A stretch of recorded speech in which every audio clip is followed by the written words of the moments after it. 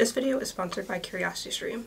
Watch me react to the grades that got me into MIT in this week's Nebula Plus video when you sign up for CuriosityStream and Nebula using my link. This week, I am reacting to the application that got me into my MIT PhD program four years ago. If you're new here, I'm Jordan, and I'm a PhD student at MIT, as well as a YouTuber who makes videos about emerging tech, artificial intelligence, and what it's like to be a grad student consider subscribing if you want to check out more of my videos.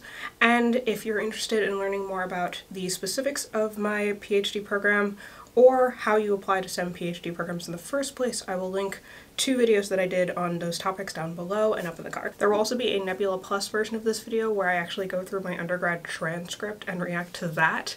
So if you're interested in seeing what grades got me into MIT, you should check that out. Alright, so the two main documents that we're going to be looking at today are my CV from my undergrad and my personal statement. We'll actually start with my personal statement, so if you're not familiar, most programs require you to submit a personal statement that essentially outlines why you're interested in applying to the program, what you are interested in doing if you get into your program, whose labs you might want to work in, things like that. And so my personal statement was actually essentially based around my journey into science. Uh, specifically, my journey with something called reactive hypoglycemia, where my body has a delayed response to a rise in glucose levels in my body, and so essentially I end up having these really sharp blood sugar crashes um, that were a big problem in high school because I would, you know, be falling asleep at my desk because of it.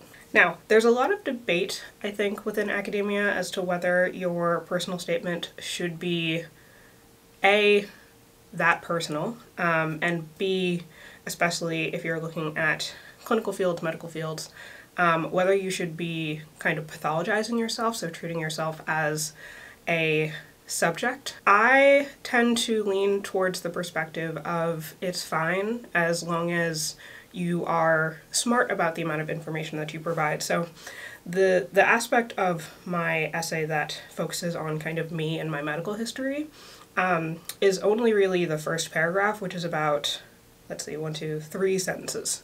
And the rest of the essay doesn't really touch on it at all. So I think that that was an appropriate amount of disclosure. It's also not a topic that is particularly, not polarizing, but it's not um, something that might be regarded as a potential deficit on my application. Um, unlike things like talking about mental health issues. Um, so I think that talking about stuff like that is totally fine. So next up, I started talking about what I wanted to do in grad school. Um, apparently I specifically want to research brain-machine interfaces or cardioelectric implants. This is interesting in hindsight because I don't know that I was ever that interested in cardioelectric implants. Brain-machine interfaces and machine learning have definitely been up my alley for a while, but cardiac stuff has never really been anything that I've been super interested in. Alright, looking further, I oh, this is something that you do in every essay, um, where I say, however, there are few academic institutions that have the resources, the intellectual curiosity, and the translational abilities to perform truly interdisciplinary biomedical research that can be implemented in real time in the clinic. I think that's true when it comes to my program. I still think that that's true. Um, but every grad school essay has a sentence that's something along the lines of, Therefore, this is the best place for me to do my PhD because it has XYZ things. Um, so it's always a little bit funny to read stuff like that in hindsight and see kind of what things I highlighted for each school. So next up, I basically run through all of my research experiences up to date. The important thing here is to mostly highlight um, what you did, what you had like intellectual ownership over, and then like what the results were and especially if you like presented or published anything definitely mention that. The research journey part of my essay is i would call it probably about half of the total essay so i think that's fine. Different schools have different rules on how long a personal statement should be what should be in it um, anything like that so i think that what i did here made sense for the program i was applying to. There were other programs i applied to where you know, this was two essays where one was specifically about research and the other one was about more personal interests. Now this is an interesting part. I'm actually probably going to blur this out um, in the video, but For every essay I wrote, I did have a paragraph that was essentially, if admitted to this program, here are the people I wanted to work with. And in hindsight, it's super interesting to see what names came up. All of these people, I think, are great researchers, but I've definitely strayed pretty far away from everything that I mentioned in this essay. And I think that's fine. Um, I think the purpose of this paragraph is mostly to highlight that you did the work in order to be able to say, you know, here are the specific people in your department or your program that I'm interested in working with. Here's specifically what I might be interested in working with them on. Most of the specifics that I wrote about here I actually pulled essentially from the discussion sections of their papers. um, so I would go look at their most recent work and then go to the discussion and basically find you know, the part of the discussion that says further work should be done on blah, blah, blah, blah, blah. So, highly recommend doing that. It shows that you've done your homework. It also gives you a sense of like what the lab is currently doing because a lot of labs don't update their lab website. Um, and so, you might have a bunch of people in mind that you want to work with in a program, and then you end up looking at their recent papers and realize that the things that you thought they were doing are not actually the things that they do. All right, getting to the end of my personal statement. So the second to last paragraph, and I could say this is a formula that I used for all my personal statements. The second to last paragraph is essentially highlighting my extracurriculars, outreach, leadership, things like that, to show that I am a well-rounded person who is not, you know, only going to be in lab 24 7, but I will also contribute to the department, things like that. And then, of course, the last paragraph ends up kind of being a summary paragraph um, that explains what you want to do, why this is the program that you can do that in, um, what you will give back as a graduate of that program, and just kind of wrapping things up. So, yeah, it's definitely interesting to look at this in hindsight um, and just to see how much my research interests have changed.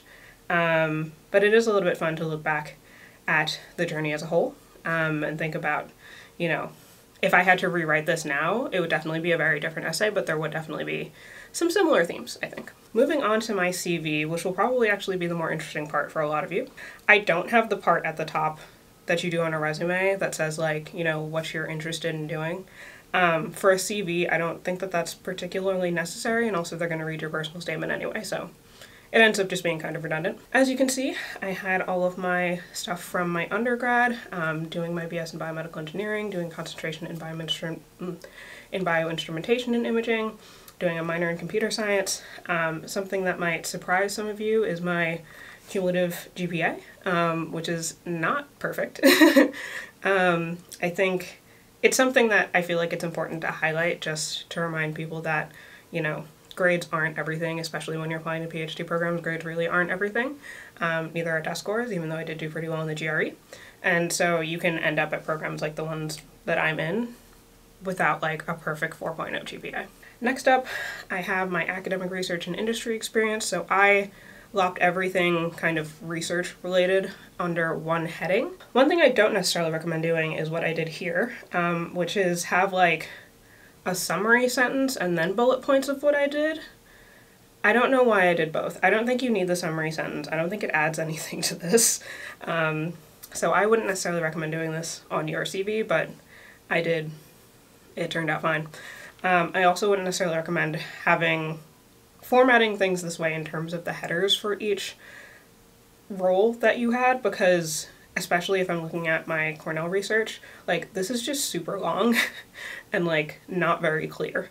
So wouldn't necessarily recommend doing that. I actually have um, my current CV on my website if you're curious as to what my CV formatting looks like now. Um, I do it in LaTeX, so I also don't use Word anymore, but just something that I would maybe keep in mind for the future. So after this, I have a section on publications. Um, how you order your CV depends a lot on the position that you're applying to. So in this case, since I'm applying to PhD programs, I think it makes the most sense to basically front load things that they would care more about, which in this case are research experience, publications, and presentations. I have two publications on here that are both abstract slash posters for different conferences. I also have presentations. I think in hindsight, I wouldn't have put the second one on there. Um, it's a hackathon presentation where we're basically doing a pitch competition. It's not really the same as presenting a poster at a conference, and I think at best it ends up being confusing and at worst it ends up being like a little bit disingenuous so i wouldn't have necessarily done that i also have projects on here i think that that's definitely more interesting, useful for people who are more on the industry side of things, less so on the academic side, um, and then skills, um, which should actually be at the bottom. This should either be at the bottom of your resume or at the bottom of your CV. There's no reason that this should be this early on. And then academic teaching experience. Both of these should actually be higher. Both of these should probably be under presentations. Yes, both of these should be under presentations um, because academic teaching experience is something that people care about when you're applying to a PhD program. And then I have leadership and academic outreach experience. This also probably should have been higher. Basically, the, the whole skills and projects section should basically be moved to the bottom and everything else should be moved up. And then last but not least, I had honors and awards. I think some of this also could have been moved up, or maybe not. This section I think matters a little bit less unless you're getting an award that's like nationally recognized or, you know, best poster at a conference or something like that, um, which none of these are. So something I might have taken out or cut down on if I were to do this again, but I don't think it's something that necessarily had like a huge negative impact on my application. So I will stop there if you want to check out the video where I react to the grades that got me into grad school, you should head on over to Nebula. If you haven't already heard, Nebula is a streaming platform built by me and some of my friends, including people like TierZoo, Simon Clark, and Marques Brownlee. On Nebula, you can find ad-free versions of all of our videos, plus bonus content in our Nebula Plus videos for those times when you want to see me react to my grades from undergrad, which was an experience for me. You'd also get access to our Nebula Originals, which you can't find anywhere else, including a very good trivia show where I competed against Brian from Real Engineering and Dave from City Beautiful in a bunch of fun and bizarre challenges, including trying to build an IKEA chair while answering math problems. And the best way to sign up for Nebula is actually through CuriosityStream, who are kindly sponsoring today's video. CuriosityStream is a subscription streaming service with thousands of documentaries and non-fiction videos.